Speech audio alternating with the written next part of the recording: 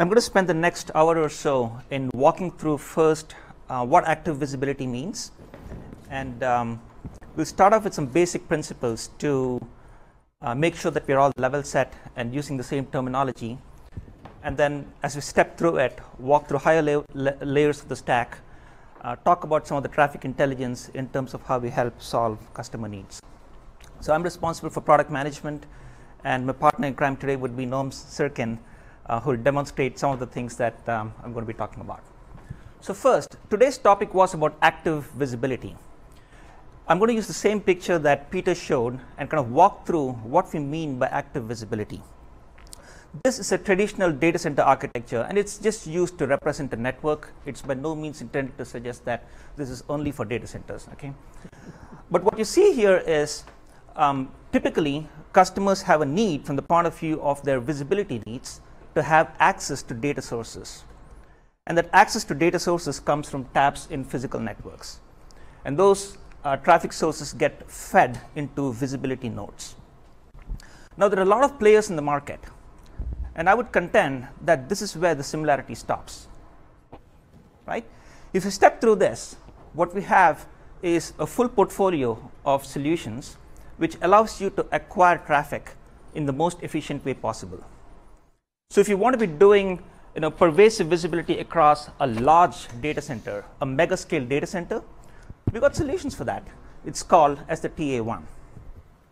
Now maybe you want to have an efficient way to aggregate all those traffic sources into kind of a core node where you want to do certain traffic intelligence before it is shipped off into the destination devices that want to consume the data. And that's where the HC2 or the HD8 modular form factors come in. Now you may also have certain remote sites where you don't actually have the ability, um, either from the point of view of uh, sheer economics or from the point of view of manpower, to have remote tools available in those sites. Right?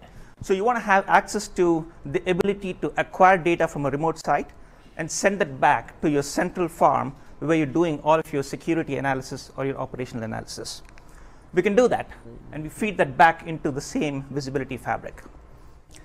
And then these are the typical destinations that you would see in terms of what the customer wants to do with that specific data that they acquire. Sometimes they want to be doing voice over IP analysis. If they're a service provider, they want to be doing customer experience management because they are responsible for providing service level or meeting service level agreements to their customers. If you are uh, responsible for applications, you're responsible for application performance management. So that's what you'd be, you'd be caring about. And then there are also situations where sometimes you want to scale up your security systems inline, especially for challenges that are being faced today by organizations in terms of intrusion protection as well as threat detection in real time, and that can't be done out of band, which is what happens in these situations, but actually needs to happen in band. So those are again situations where you would feed it into the same visibility fabric, and you have the ability to do these operations in band. And last but not the least, which is very important, this is not just about physical infrastructure. We all know that more and more traffic is becoming east-west, especially in highly virtualized environments, which means I should have the ability to capture this traffic from virtual servers, from virtual machines as well, and feed that into the same visibility fabric. The point here, folks, is very simple. We're talking about pervasive visibility here. I don't care where you want to get the traffic from, I'll get that to you. On-prem or off-prem, physical or virtual, you'll get that. And what is most important here is it's not just delivering a fire hose to you, because that would be dumb tapping and aggregating the traffic and delivering that to you. Rather, it's applying the necessary traffic intelligence before delivering the traffic to you. So these things that you see here that are represented by small icons, I recognize you probably can't see it, but they refer to deduplication, net flow generation, masking, adaptive packet filtering. We'll go into the details of that. Those are examples of traffic intelligence which are applied before the traffic is delivered to the destination. For NetFlow, are you saying you can be a NetFlow collector? We can be a generator of the NetFlow records. So you span data to your box or tap it to your box, yes. and then you'll generate NetFlow data from there? Yes. And I'll go into more details about that um, you know, when, when that slide comes up. And I think, Noam, you're also going to be doing a demonstration of that. Okay. Just, just NetFlow, or what about some of the alternate types like IPFix? NetFlow or- slash IPFix both. Yeah. You're saying that flow would remain five nine or IPFix. You set up the format. Okay, so with that in mind, um, the first topic that I want to address is why is this different from tap and ag? Why is this different from tap and aggregation? A common question that comes up is, hey, can I just reuse an Ethernet switch to address these needs that uh, administrators have? And to answer the question, I would go back to what the management guru Clayton Christensen often says. You got, you got to ask the question always what is the job that your customer wants to get done? What's the job that our customers want to get done? They want to get visibility in order to meet a specific operational need or a specific security need. That's the job that they want to get done. They're not looking for tapping traffic everywhere. They're not looking for aggregating traffic everywhere. They're looking for visibility to meet a specific need. And that's a very, very important thing that I want to highlight here. So let me step through this, what I call as a seven stage chevron, to talk about the various essential components of delivering visibility. First and foremost, as I mentioned before, you need to have the ability to get access to traffic irrespective of where it comes from. It could come from a physical source, from a virtual source. It needs to be securely tapped so that there's role based access control, and you want to prevent unauthorized access to it. And if you're in a virtual environment, one of the key differences is that you're co resident with the application. So you have to be very sensitive in terms of being non intrusive, and you also want to make sure that you can automatically respond to vMotion events. In a physical infra- infrastructure, there's no you know, um, uh, changes that, that happen as much as in a virtual infrastructure. So you've got to be much more sensitive to changes in workload patterns and changes in terms of where those workloads are located. Number two, header filtering. This is a fairly basic thing. You, want, you want to filter off the packet headers and send that in a normalized way to the destination tools, which are consumers of, of, of the information, so that they don't need to understand what the specific details of the encapsulation are. It doesn't matter if you're tapping into an MPLS WAN link, for example, the tools don't need to understand MPLS headers. Maybe you want to strip off the Q and Q headers. Maybe you want to strip off the GRE headers. Uh, so that's the basic header filtering. But beyond that, many times you have a need for deep packet filtering, right? So increasingly with the use of um, network virtualization concepts, the actual payload gets hidden behind certain outer layer encapsulations, VXLAN being a classic example of that. You may also want to be looking for certain specific patterns so that you can be doing application-based filtering. And when I talk about application-based filtering, not layer 2 to layer 4, but actually layer 2 to layer 7, right? Next, you also want to be looking at packet optimization. Don't forget that the job that the customer wants to get done is to have an efficient way to have visibility into the infrastructure. Many times, the fundamental thing that we have to remember here is the tools have got very high semantics. They're very rich in intelligence, but don't necessarily operate at the same speed as the network. So there has to be the translation middleware layer so that only relevant data is being, is being given to it. Sometimes that relevancy is enhanced by timestamping the traffic. Sometimes it's enhanced by slicing the traffic because all the information that I need is in the first 256 bytes of the packet, so I don't care about anything else that's there in the packet. Sometimes you also need to mask off sensitive information for compliance reasons. You may have a voice over IP team in your in your um, uh, in your in, in your team, um, and they um, you don't want them to be looking at who is calling whom, right? That's a compliance thing. Um, maybe you want to be looking at you know big data, but you don't actually want to be processing credit card numbers that should be visible for, for some of the compliance teams. Can Uh, you, some of s- the can you store teams. any of this data like natively in your solution? No, or- nothing is stored. It's actually you know, uh, processed, and then afterwards it's sent off to uh, to the destination. Of course, apart from any, any of the configuration information. Yeah, what I'm saying is, like, if there wasn't any tools plugged in, Mm-hmm. like, you know, is there in terms of if you set up any sort of like filter or compliance, you know, mechanism or what have you, you know, are, are there things that can still be used for reporting, or it's just No. again it's processed and that's it? Yeah, you, you have a way to uh, to generate net flow records, um, and that way that's a summarized you know, okay. view that could be that could be generated. Okay, but the goal here is to reduce the bandwidth overhead in terms of what is actually coming towards the the recipients of the information. Now, this is a very important part, which is stateful correlation. A lot of what we've talked about so far is at a packet by packet le- level, right? But when you really think about traffic intelligence, we need to stop thinking about packets. We need to start thinking about flows. We need to start thinking about sessions, right? Subscriber sessions. And the best example for this is in a mobile network. Now, every mobile network today is built upon the GTP protocol, GPRS tunneling protocol. And one of the things that we often forget is that GTP is constructed in such a way that there's a separation between the control plane and the user plane.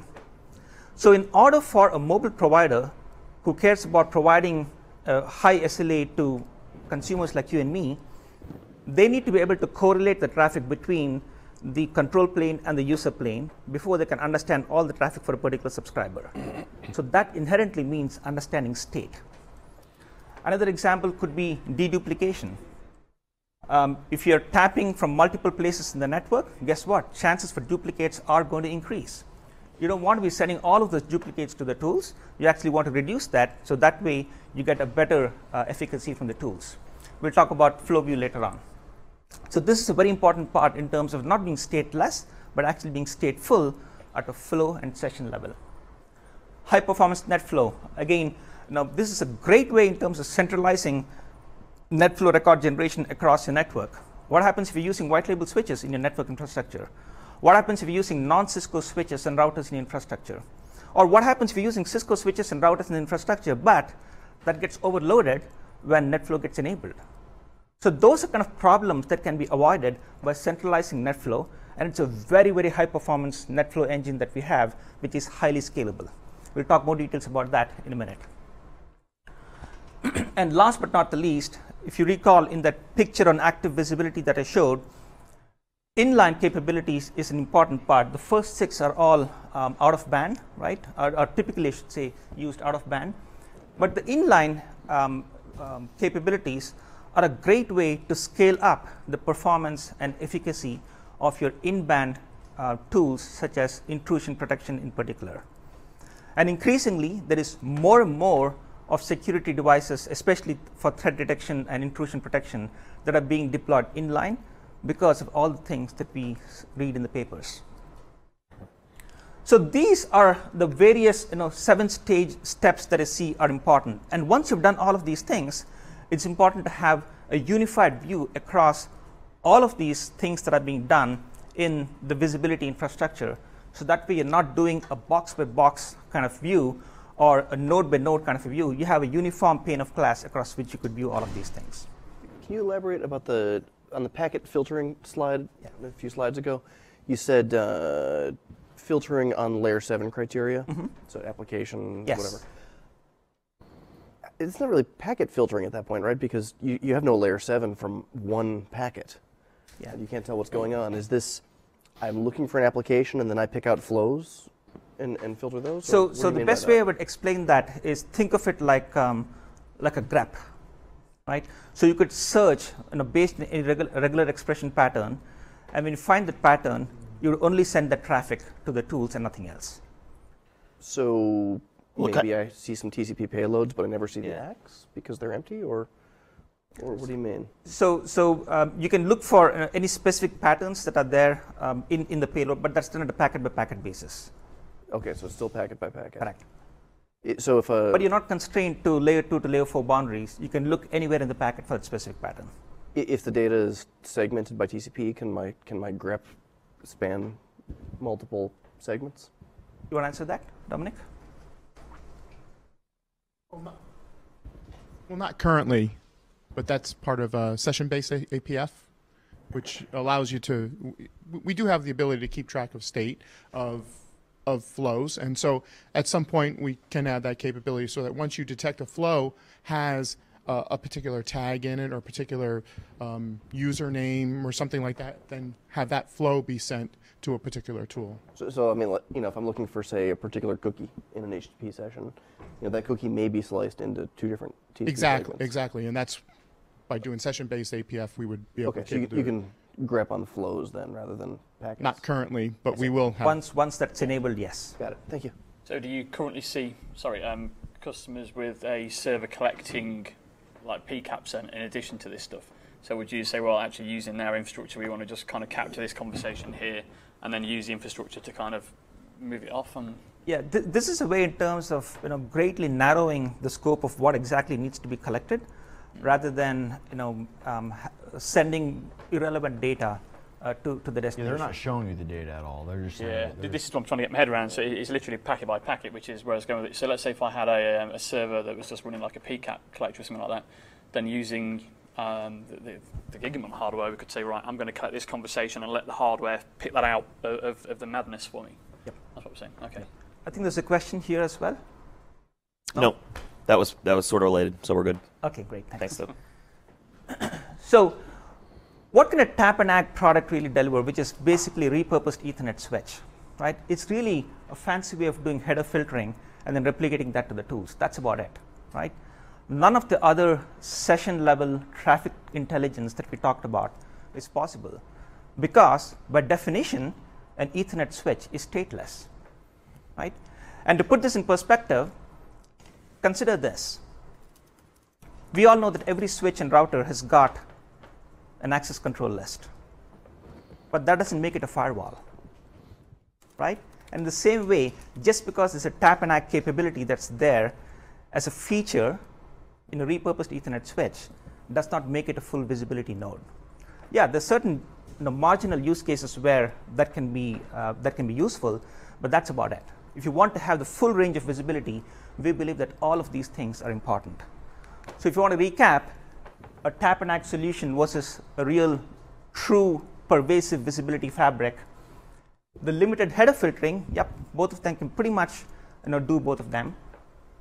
Um, you can't have secure taps, uh, whether it's physical or virtual. You can't have deep packet filtering like the you know, content-based filtering that we talked about. You can't do any kind of packet optimizations. You can't do any kind of stateful correlation because that's inherently stateless. You can't do any high performance net flow. You can't do any inline tool support. So it's a highly restricted, very narrow point of view that also takes a very box by box by box node centric view as opposed to something which looks at it very holistically. Right? I think that's a very critical point that we need to understand here. And with that, I'll transition in terms of how we deliver those promises that I talked about through our, our portfolio. This is probably the last slide where you'll actually see products being shown. Okay?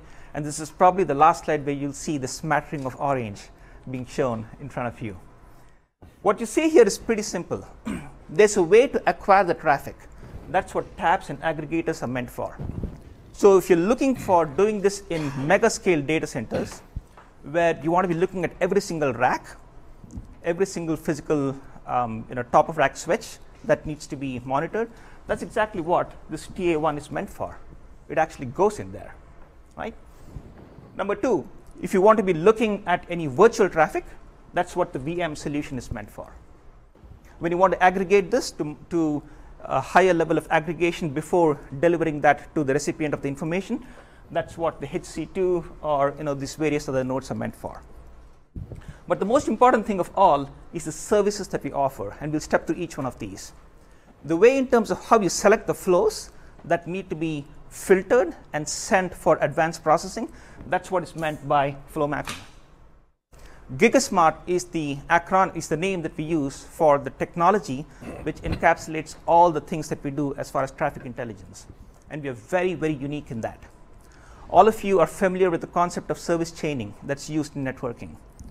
Remember that these are not independent functions. You can actually chain them together like a service chain exactly is what you would expect to do in a service chain in a configuration.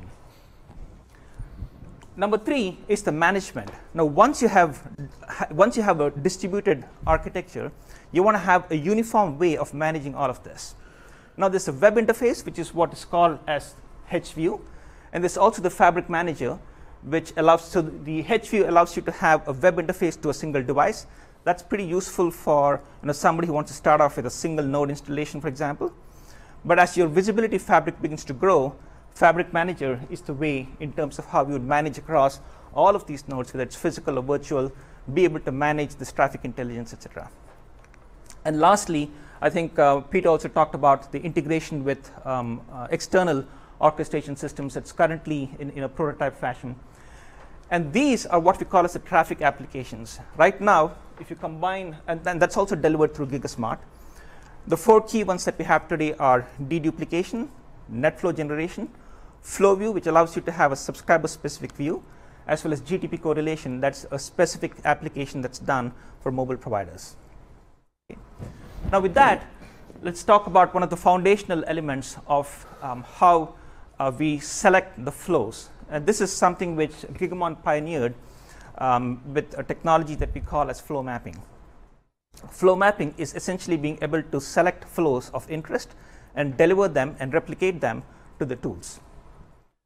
What the way we do that is by first admitting all the flows and then depending on where the matches happen as far as the map rules are concerned, we send them to the respective tools and replicate them if required. How do you differentiate between those applications today? How do you differentiate between those applications today? Okay, these um, so these are effectively the map rules would have um, any filters based on layer two to layer four information, and that's what helps you to identify you know which ones are of interest. Okay. Okay. So replication to multiple tools that's done here. Um, typically, this is done based on what the specific you know, destination wants to see, right?